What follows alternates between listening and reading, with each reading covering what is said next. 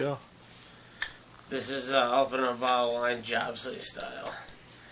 If you're a drywaller.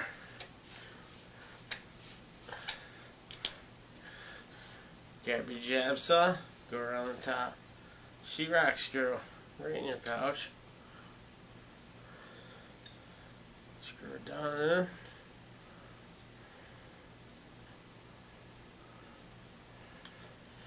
I mean, if you get your screw guns plugged in, I guess that'd probably be quicker, but.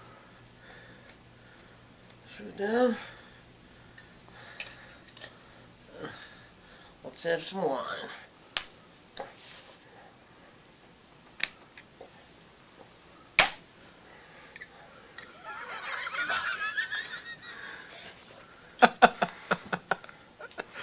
Holy fuck, man, this is hilarious. Oh, I don't think I can do it. wow, that cork's in there.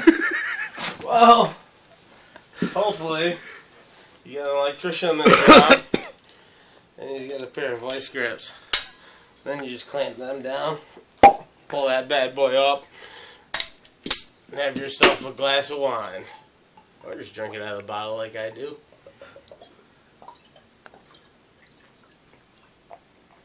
I'm only bleeding a little bit.